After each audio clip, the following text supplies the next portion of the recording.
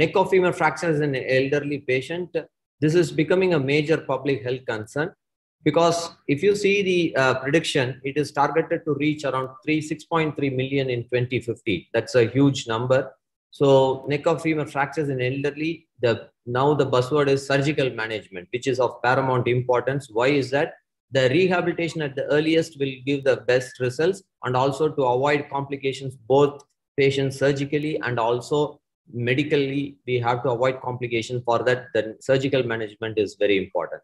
So if you look at the uh, pattern of neck of femur fractures, the valgus impacted neck of femur fractures, sometimes it is neglected or it is sometimes if it is it is treated overboard. Like you you tend to see a neck of femur fracture and immediately go for a, some sort of big surgical procedure like a hemi or a THR. But in valgus impacted, the best method of treatment will be a cancellous screw fixation and the patients do well, particularly uh, a very good valgus impacted seen in both the uh, AP and lateral views.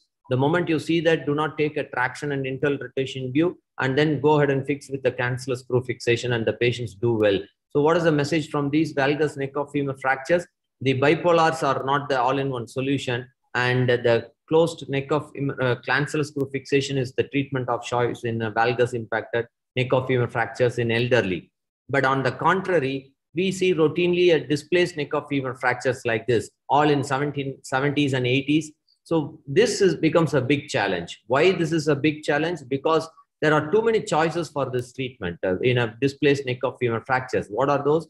The total hip replacement, bipolar, hemiarthroplasty, monopolar hemiarthroplasty, modular bipolar hemiarthroplasty. So much options are available. Because of this, it becomes a big challenge to select which is the best one. So if you look at the management of hip fractures, it is based on the location and the majority of the cases, it is an intracapsular fractures and it is 80% of the time it is a displaced. So if, in the literature also, it is very well documented that displaced intracapsular neck of femur fractures in an elderly should be treated with an, any one of the arthroplasty procedures. So in a neck of femur fractures, recently published article in a European journal, if you look at that, the neck of femur fractures in frail patients associated with risk of cardiovascular, pulmonary, and thrombotic uh, complications, the surgical delay is the one which increases the mortality. So the best option will be to time the surgery. The surgery after 24 hours raises the chances of perioperative complications such as the pulmonary embolism, pneumonia, DVT, and also pressure ulcers. So we have to make sure we are uh, trying to optimize the patient uh, hemodynamically as quickly as possible and perform the surgery at least within 48 hours to reduce the mortality risk. So the type of surgery also plays a very important role. The current registry data suggests that around 90% of the displaced intracapsular fractures are treated with hip hemiarthroplasty, whereas only 10% is treated with a total hip replacement. That is actually not a good number at all. Why is that? Between 50 and 8, 75% of the elderly patients are actually not frail. They're all nowadays the life expectancy has gone so much. So nowadays the patients uh, activity level also increase so the biological age should determine the choice of the implant. So the high functional requirements and low biological age actually has now it leads to a paradigm shift towards a total hip replacement instead of hemiarthroplasty in healthy elderly patients. 72 years male who's very active and not much of comorbidities only hypertension a total hip replacement is a very good choice.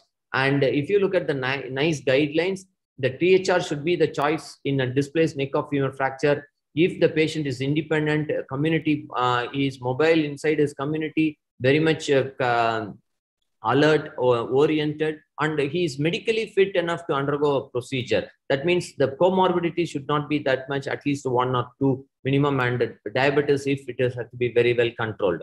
So hemiarthroplasty for neck of femur fractures in elderly, it is also a good option, but the selection of patients should be proper. In old age, frail patients, in a lot of comorbidities are present and impaired cognitive function and neurologically challenged patients are the best for hip hemiarthroplasty. So look at this 81 year old female displaced neck of femur fracture, osteoporotic, uh, bipolar hemiarthroplasty done. One more 79 year old trivial flaw, neck of femur, uh, uncontrolled diabetes, so these are patients who are suitable for a bipolar hemiarthroplasty.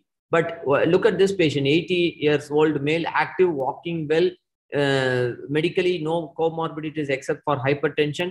this patient underwent a unipolar hemiarthroplasty outside. So subsequently did went on for an aseptic loosening. And at this stage, this patient had to undergo a major revision. So to avoid this revision, these kind of failures, to we have to select the patient appropriately. And in this patient would have benefited from a total hip replacement in the primary situation.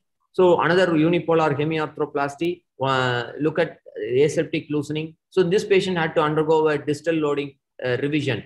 Bipolar prostheses stem breakage is very, very common in old age patients. Again, this is a 73 year old active patient. So these kind of cases, better to go for a total hip replacement. So message from these cases, any age group, we should not perform a unipolar uh, hemiarthroplasty unless otherwise it's a very emergency situation. Better to do a modular bipolar. So what is that? Next option, the modular bipolar hemiarthroplasty, where the head and the modularity uh, gives us the chance of putting in a bigger head, and also we can use the uh, total hip uh, replacement uh, uh, femoral stems. So the NICE guidelines also says that using a femoral stem design rather than an Austin Moore or a Thompson stems for hemiarthroplasty is a better option.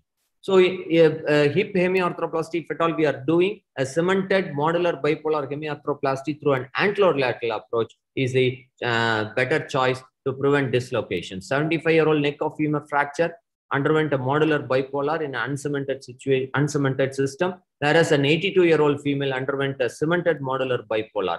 So these modular bipolars, the longevity is better, the dislocation rates are uh, less, and also the patient can be mobilized at the earliest. But however, studies have found a higher risk of serious complications resulting with uncemented devices in these kind of populations, particularly a perioperative periprosthetic fracture. So we have to be very careful. The surgeon has to decide based on the pre-fracture activity level, comorbidities, cardiac status, and available implants, and also the surgical skill of the surgeon. But still, perioperative decision should be final based on the implant, uh, sorry, based on the uh, bone condition and also the osteoporotic level.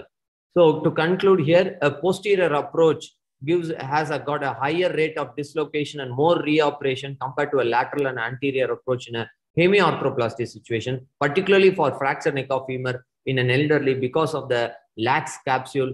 Uh, the better option will be a lateral or an anterior. So that's what they have concluded. So to summarize this, in a hip fractures, particularly a displaced neck of femur fracture in an elderly, proper pain management, surgery within 24 hours, and early mobilization hemodynamic stabilization uh, all gives a very good medical outcome, better uh, surgical uh, post-operative outcome. And also the choice of operative treatment should depend on the comorbidities, activity level, and the biological age, not the chronological age. Thank you.